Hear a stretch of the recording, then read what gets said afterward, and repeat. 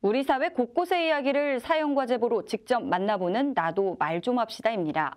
이번에는 장애인 기업의 활성화를 위해 요구되는 변화는 무엇일지 목소리를 담아왔습니다.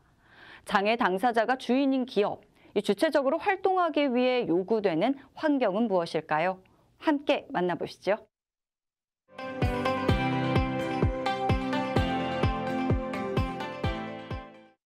아직도 길 다니면 여기 휠체어 타시지만 얼마나 힘듭니까?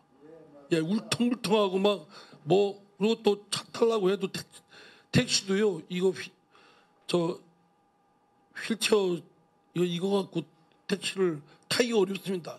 이 일반 일반 택시는 없고 그냥 큰 택시만 있고 그것도 뭐 쉽게 그 택시는 또 있는 곳만 있지 없는 데는 아예 뭐 택시 불러도 뭐 한 시간에도 오지도 않고 있고 뭐 이런 상황입니다.